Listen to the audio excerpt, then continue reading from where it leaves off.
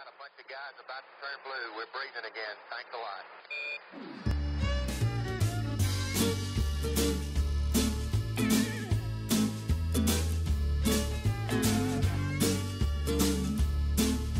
Basically, the check and adjust feature is a tool to do a user calibration of the instrument.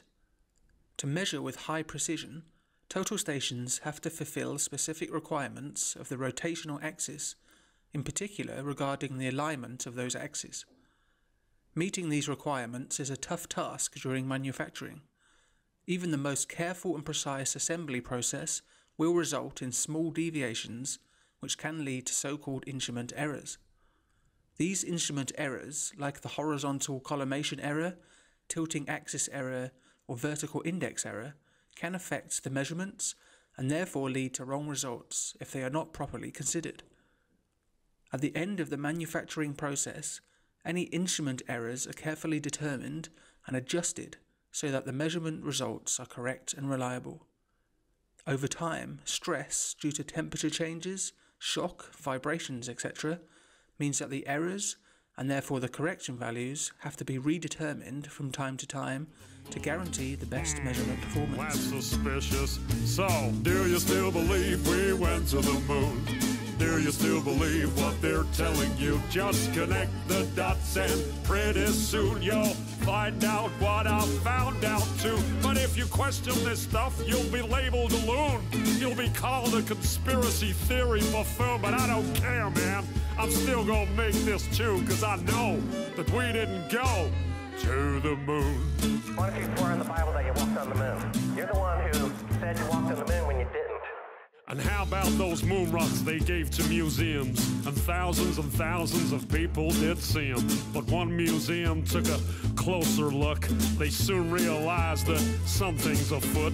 The rock they were given turned out to be a fake. Just a piece of old wood, not a rock from space. Yeah, when God made the moon, he saw it was good. But apparently made it from petrified wood. Hmm. Yeah, that's suspicious. Listen up. In another museum sits an astronaut suit. Take a good look at the tread on the boot. It doesn't match up with the prints on the moon. And y'all still believe what they're telling you? Or how about that phone call that Nixon made to the moon that's a quarter million miles away? When I can't get a signal on my cell phone line, I guess phones were better in 69. Hmm. Well, do you still believe we went to the moon? Do you still believe what they're telling you? Just connect the dots and pretty soon you'll find out what I found out too. But if you question this stuff, you'll be labeled a loon. You'll be called a conspiracy theory buffoon, but I don't care, man. I'm still gonna make this too, cause I know that we didn't go to the moon. And this certainly has to be the most historic telephone call ever made Yeah, you went straight through those Van Allen belts. It wasn't a problem, right? Nothing was felt. But now you say it's a problem and you can't get through. This problem needs to be solved, according to you. But didn't you solve that problem back in 69 and you flew straight through them five more times? Uh, you wonder why I think it's fake when there are so many Apollo mistakes, like the telemetry data that's all gone missing. 13,000 reels, are you kidding?